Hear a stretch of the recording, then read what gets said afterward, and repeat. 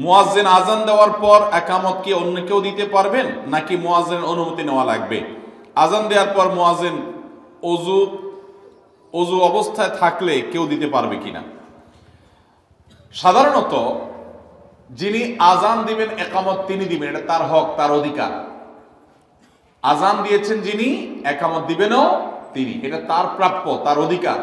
যেহেতু তিনি আজান দিয়েছেন, একামত তার দেওয়ার রাইট কিন্তু যদি এমন হয় মোয়াজেন সাহেব, জমাত দাঁড়ানোর সময় নাই।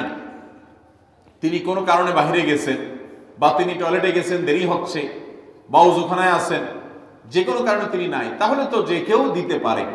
কিন্তু তিনি যদি থাকেন উপস্থিত, তাহলে আরেকজন একামত দিতে পারবেন না ওই মোয়াজ্জেন সাহেবের অনুমতি ছাড়া।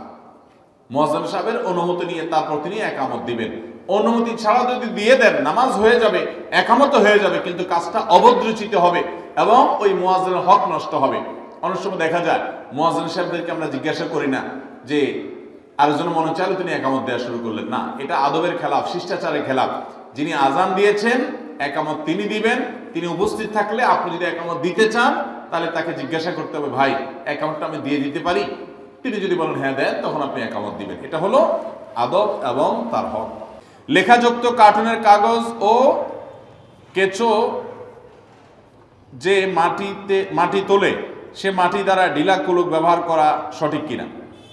যে কাগজে লেখা আছে, এরকম কাগজ দিয়ে ঢিলা কুলুক করা জায়েজ নাই। এটা উচিত না, এটা মাকরু। এটা কাগজের অসম্মান, জ্ঞানের অসম্মান। সেটা আরবি লেখা হোক আর বাংলা লেখা হোক আর ইংরেজি লেখা হোক, সম্মানজনক কোনো কিছু দিয়ে ডিলাকুলুক করা এটা উচিত নয়। ইসলাম আমাদেরকে শিষ্টাচার শিখিয়েছে। ঠিক একইভাবে কেঁচো যে মাটি তোলে, ওই মাটি দিয়ে ডিলাকুলুক করা যাবে কিনা? এটার উত্তর হলো যাবে।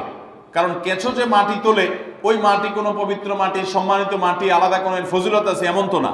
অতএব অন্য দশটা মাটি দিয়ে যেরকম ডিলাকুলুক করা যাবে, এই মাটিটাও যদি শুকায় যায়, এটা দিয়ে আপনি ডিলাকুলুক ব্যবহার করতে পারবেন।